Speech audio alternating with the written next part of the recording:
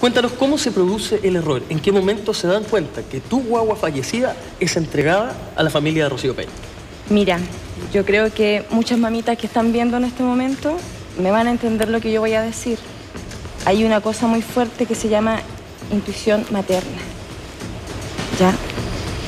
Yo cuando pasé todo este proceso, que yo perdí a mi hijo el 10 de septiembre, el día 11, a las 8 y media de la mañana me dieron el alta, sabiendo que yo tenía una infección en la sangre, sin medicamentos a la casa, nada. Me dieron el alta. Ese mismo día, 5 para las 3 de la tarde, mi hijo lo retiraron de la funeraria, sin yo saber nada. Mm. ¿Ya?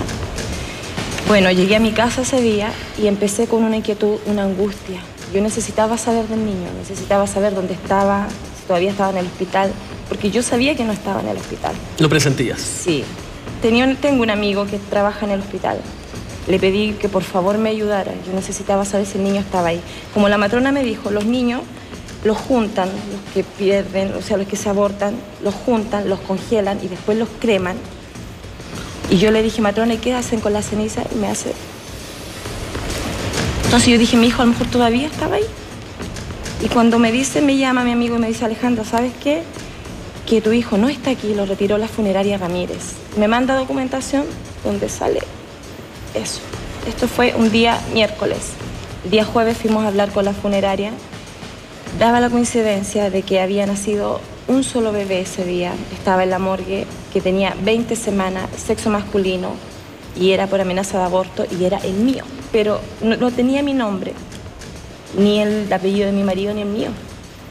Entonces nosotros hablamos con don Renzo, que es el dueño de la funeraria Ramírez, y él no nos quiso dar más información, solamente eso. Disculpa, ¿y nunca hablaron ustedes con el hospital? ¿Hablaste con un amigo tuyo que está en el hospital? Exacto. Después hablaron con la funeraria, pero lo hicieron por la suya, digamos. Nunca fueron al hospital a pedir una explicación formal. Mm, Me dicen que mi guagua no está aquí.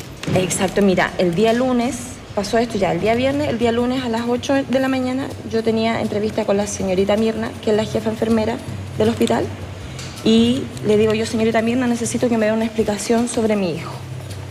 Y ella me dice, ¿de qué me estás hablando? Yo le digo, me dice, ¿cómo te llamas tú? Yo le digo, Alejandra Valdivia, Villalobos. Me empieza a buscar en el sistema y yo no aparecía en el sistema. Tampoco. Nada. Me dice, ¿tú estuviste en maternidad? Sí, estuve en maternidad. Me dice, pero es que Alejandra, tú no me apareces. No hay ningún registro tuyo de que tú hayas estado aquí hospitalizada. Y yo, mira, por suerte mi angelito me ayudó, tenía el respaldo de toda la documentación de cuando ingresé al hospital, la hoja que te dan, hasta el día que me dieron el alta. Le saqué fotocopia toda esa documentación y se la mostré. Yo le dije, mire, yo no le estoy mintiendo, le entregué toda la documentación.